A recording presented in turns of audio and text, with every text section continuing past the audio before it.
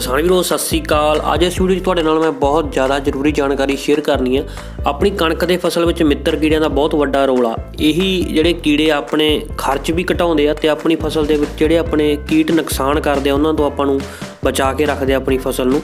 ਪਰ ਕੁਝ ਕਿਸਾਨ ਵੀਰਾਂ ਵੱਲੋਂ ਬਹੁਤ ਜ਼ਿਆਦਾ ਫੋਨ ਆ ਰਹੇ ਆ ਕਮੈਂਟ ਕੀਤੇ ਜਾ ਰਹੇ ਆ ਕਿ ਹੈਪੀ ਸੀਡਰ ਵਾਲੀ ਕਣਕ ਜਾਂ ਹੋਰ ਤਰ੍ਹਾਂ ਦੀ ਕਣਕ ਜਿਸ ਤਰ੍ਹਾਂ ਵੀ ਤਰੀਕੇ ਨਾਲ ਬੀਜੀ ਹੋਈ ਹੈ ਇਸ ਦੀ ਮੌਸਮੀ ਕਾਰਨਾਂ ਕਰਕੇ ਜਾਂ ਹੈਪੀ ਸੀਡਰ ਦੀ ਕਣਕ ਦੀ ਜ਼ਿਆਦਾ ਬਜਾਈ ਹੋਣ ਕਰਕੇ ਗੁਲਾਬੀ ਸੁੰਡੀ ਜਿਹੜੀ ਦੇਖਣ ਨੂੰ ਮਿਲ ਰਹੀ ਹੈ ਤੇ ਉਹਦੇ ਕਰਕੇ ਕਿਸਾਨ ਵੀਰ ਦਾਣੇਦਾਰ ਜ਼ਹਿਰਾਂ ਪਾ ਰਹੇ ਆ ਜਾਂ ਲਿਕੁਇਡ ਜ਼ਹਿਰਾਂ ਰੇਤੇ ਵਿੱਚ ਮਿਲਾ ਕੇ ਪਾਣੀ ਤੋਂ ਪਹਿਲਾਂ ਪਾ ਰਹੇ ਆ।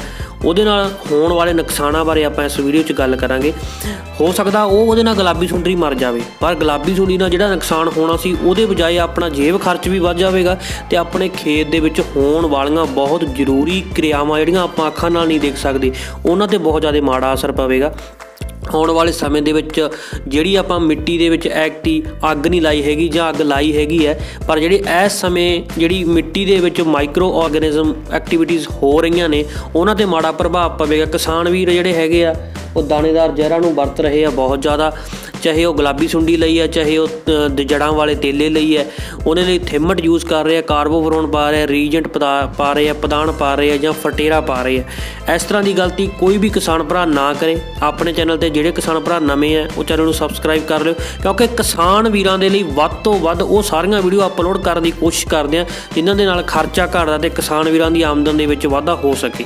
ਕਿਸਾਨ ਵੀਰੋ, ਜੇਕਰ ਤੁਸੀਂ ਵੀ ਹੈਪੀ ਸੀਡਰ ਦੇ ਨਾਲ ਕਣਕ ਬੀਜੀ ਹੋਈ ਹੈ ਜਾਂ ਕਿਸੇ ਵੀ ਹੋਰ ਤਰੀਕੇ ਦੇ ਨਾਲ ਕਣਕ ਬੀਜੀ ਹੋਈ ਹੈ, ਉਹਦੇ ਵਿੱਚ ਜੇਕਰ ਇਸ ਤਰ੍ਹਾਂ ਦੀ ਸਮੱਸਿਆ ਆਈ ਹੈ ਤਣਾ ਛੇਦਕ ਸੁੰਡੀ ਆਈ ਹੈ, ਚਾਹੇ ਉਹਦੇ ਨਾਲ ਕੋਈ ਮੱਕੀ ਵਾਲਾ ਖੇਤ ਸੀ ਜਾਂ ਕੋਈ ਬਾਜਰੇ ਵਾਲਾ ਖੇਤ ਸੀ ਜਾਂ ਕੋਈ ਸਬਜ਼ੀ ਵਾਲਾ ਖੇਤ ਸੀ, ਉੱਥੋਂ ਕਈ ਵਾਰੀ ਇਹ ਸੁੰਡੀ ਆ ਜਾਂਦੀ ਹੈ ਜਾਂ ਐਕਟੀ ਜਿਹੜਾ ਮੌਸਮ ਆ, ਉਸ ਦੇ ਹਿਸਾਬ ਦੇ ਨਾਲ ਇਹ ਸੁੰਡੀ ਆ ਜਿਹੜਾ ਖਤਮ ਨਹੀਂ ਹੋਇਆ ਹੈਗਾ।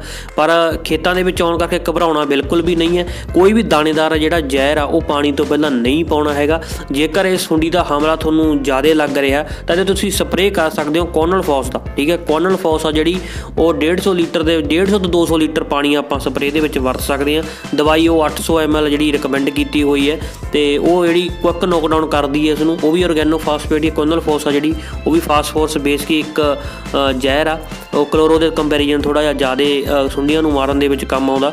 ਪਰ ਕਿਸਾਨ ਵੀਰੋ, ਆਪਾਂ ਵੱਧ ਤੋਂ ਵੱਧ ਜਿੰਨਾ ਜ਼ਹਿਰ ਆਪਣੀ ਖਾਣ ਵਾਲੀ ਫਸਲ ਤੇ ਕਰਾਂਗੇ, ਉਹਦਾ ਅੰਸ਼ ਆਪਣੇ ਭੋਜਨ ਦੇ ਵਿੱਚ ਵੀ ਅੱਗੇ ਜਾ ਕੇ ਆਪਾਂ ਨੂੰ ਮਿਲਣਾ। ਇਸ ਲਈ ਘੱਟ ਤੋਂ ਘੱਟ ਜਿਹੜੀਆਂ ਇਹੋ ਜਿਹੀਆਂ ਜ਼ਹਿਰਾਂ ਨੂੰ ਵਰਤੋ, ਜਿਹੜੀਆਂ ਆਪਾਂ ਆਪਣੇ ਖਾਣ ਵਾਲੀਆਂ ਫਸਲਾਂ ਦੇ ਵਿੱਚ ਵਰਤਣਾ ਬਿਲਕੁਲ ਇਗਨੋਰ ਕਰੋ। ਘੱਟ ਤੋਂ ਘੱਟ ਵਰਤੋ ਇਸ ਨੂੰ। ਕਿਸਾਨ ਵੀਰੋ, ਦਾਣੇਦਾਰ ਜ਼ਹਿਰ ਜਾਂ ਹੋਰ ਤਰ੍ਹਾਂ ਦੇ ਅਨਰეკਮੈਂਡਡ ਜ਼ਹਿਰ ਜਿਹੜੇ ਮਾਰਕੀਟ ਦੇ ਵਿੱਚ ਝੋਨੇ ਵਾਲੀ ਫਸਲ ਤੋਂ ਬਾਅਦ ਬਚੇ ਹੋਏ ਨੇ, ਉਹ ਕਿਸਾਨ ਵੀਰਾਂ ਨੂੰ ਆਸਾਨੀ ਦੇ ਨਾਲ ਘੱਟ ਰੇਟਾਂ ਤੇ ਵੰਡੇ ਜਾ ਰਹੇ ਨੇ ਤੇ ਕਿਸਾਨ ਵੀਰ ਵੀ ਆਪਣੀ ਸਮੱਸਿਆ ਜਦੋਂ ਆਪਣੇ ਬਾਣੀਏ ਕੋਲੇ ਜਾਂ ਆਪਣੇ ਦੁਕਾਨਦਾਰ ਕੋਲੇ ਜਾ ਕੇ ਦੱਸਦੇ ਆ ਤਾਂ ਉਹ ਆਸਾਨੀ ਦੇ ਨਾਲ ਇਹਨਾਂ ਜ਼ਹਿਰਾਂ ਨੂੰ ਰეკਮੈਂਡ ਕਰਦੇ ਆ। ਜਿਹਦੇ ਨਾਲ ਹਲਕਾ ਜਾਂ ਉਹਨਾਂ ਨੂੰ ਇੱਕ ਕਿਰਨ ਲੱਗਦਾ ਵੀ ਬਹੁਤ ਵੱਡਾ ਬੈਨੀਫਿਟ ਹੋ ਗਿਆ ਸੀ ਇਹਨਾਂ ਇਸ ਕੀਟ ਤੋਂ ਨਿਜਾਤ ਪਾਲੀ ਪਰ ਬਾਅਦ ਦੇ ਵਿੱਚ ਜਿਹੜੇ ਆਉਣ ਵਾਲੇ ਫਸਲ ਦੇ ਆਖਰੀ ਸਟੇਜ ਦੇ ਵਿੱਚ ਤੇਲੇ ਦਾ ਸਮੱਸਿਆ ਆਉਣੀ ਹੈ ਜਾਂ ਉਹ ਮੌਸਮ ਦੇ ਕਰਕੇ ਆਉਣੀ ਹੈ ਜਾਂ ਸੁੰਡੀ ਦੀ ਸਮੱਸਿਆ ਆਉਣੀ ਆ, ਤਾਂ ਇਹਨਾਂ ਜ਼ਹਿਰਾਂ ਦੇ ਵਰਤਣ ਕਰਕੇ ਉਹ ਸਮੱਸਿਆ ਜ਼ਿਆਦਾ ਆ ਸਕਦੀ ਹੈ, ਸਮੇਂ ਤੋਂ ਪਹਿਲਾਂ ਆ ਸਕਦੀ ਹੈ, ਉਹਦੇ ਆਪਾਂ ਨੂੰ ਹੋਰ ਖਰਚ ਕਰਨਾ ਪੈ ਸਕਦਾ। ਤੇ ਸੋ ਜਿਹੜੀ ਕਣਕ ਆ, ਉਹ ਆਪਣੇ ਰੋਜ਼ਾਨਾ ਜੀਵਨ ਦਾ ਇੱਕ ਭੋਜਨ ਦਾ ਮੇਨ ਪਾਰਟ ਆ, ਆਟੇ ਦਾ ਇੱਕ ਮੇਨ ਪਾਰਟ ਆਪਣਾ ਆਟਾ ਆਪਾਂ ਖਾਂਦੇ ਹਾਂ, ਰੋਟੀਆਂ ਬਣਾ ਕੇ ਖਾਂਦੇ ਹਾਂ ਇਸ ਤੋਂ। ਤੇ ਜੇਕਰ ਆਪਾਂ ਇਸ ਤਰ੍ਹਾਂ ਦੇ ਜ਼ਹਿਰ ਇਹਦੇ ਵਿੱਚ ਪਾਵਾਂਗੇ, ਤਾਂ ਆਉਣ ਵਾਲੇ ਸਮੇਂ ਦੇ ਵਿੱਚ ਇਹਨਾਂ ਜ਼ਹਿਰਾਂ ਦਾ ਜਿਹੜਾ ਆਪਣੇ ਭੋਜਨ ਦੇ ਵਿੱਚ ਅੰਸ਼ ਵਧੇਗਾ। ਤੇ ਆਪਾਂ ਨੂੰ ਵੀ ਹੋਰ ਬਿਮਾਰੀਆਂ ਲੱਗਣ ਦੇ ਕਾਰਨ ਬਣ ਸਕਦੇ ਆ। ਤੇ ਸੋ ਕਿਸਾਨ ਵੀਰੋ, ਇਸ ਨੂੰ ਵੀਡੀਓ ਨੂੰ ਵੱਧ ਤੋਂ ਵੱਧ ਕਿਸਾਨ ਭਰਾਵਾਂ ਨਾਲ ਸ਼ੇਅਰ ਕਰਿਓ।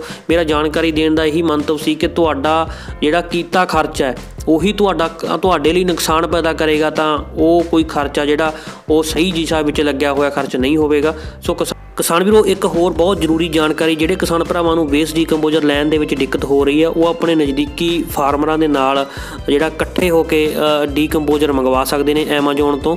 ਤੁਹਾਨੂੰ ਬਹੁਤ ਸਸਤੇ ਰੇਟ ਤੇ ਜਿਹੜਾ Amazon ਤੋਂ ਮਿਲ ਜਾਵੇਗਾ। ਨਹੀਂ, ਗਾਜ਼ੀਆਬਾਦ ਤੋਂ ਆਰਡਰ ਕਰਦੇ ਹੋ ਤਾਂ ਉਹਦਾ ਜਿਹੜਾ ਲੰਮਾ ਸਮਾਂ ਤੁਹਾਨੂੰ ਵੇਟ ਕਰਨੀ ਪੈਂਦੀ ਹੈ। ਪਰ ਜਿਹੜਾ Amazon ਤੋਂ ਮੰਗਵਾ ਕੇ ਯੂਜ਼ ਕਰੋ ਤੁਹਾਨੂੰ ਸੇਮ ਹੀ ਰਿਜ਼ਲਟ ਮਿਲਦਾ ਜਾਂ ਕਿਸੇ ਕਿਸਾਨ ਭਰਾ ਤੋਂ ਤੁਸੀਂ ਉਹਦਾ ਕਲਚਰ ਬਣਿਆ ਹੋਇਆ ਲੈ ਕੇ ਯੂਜ਼ ਕਰ ਸਕਦੇ ਹੋ, ਉਹਦਾ ਵੀ ਸੇਮ ਰਿਜ਼ਲਟ ਮਿਲਦਾ ਹੈ। ਤੇ ਮੈਂ ਆਉਣ ਵਾਲੇ ਦਿਨਾਂ ਦੇ ਵਿੱਚ ਇੱਕ ਵੀਡੀਓ ਅਪਲੋਡ ਕਰਾਂਗਾ, ਜਿਹੜੀ ਵੇਸਟ ਡੀਕੰਪੋਜ਼ਰ ਇੱਕ ਸਿੰਗਲ ਵੀਡੀਓ ਵਿੱਚ ਸਾਰੀ ਇਨਫੋਰਮੇਸ਼ਨ ਦੇਣ ਦੀ ਕੋਸ਼ਿਸ਼ ਕਰਾਂਗਾ। ਤੇ ਉਸ ਵੀਡੀਓ ਨੂੰ ਵੀ ਜਰੂਰ ਦੇਖਿਓ।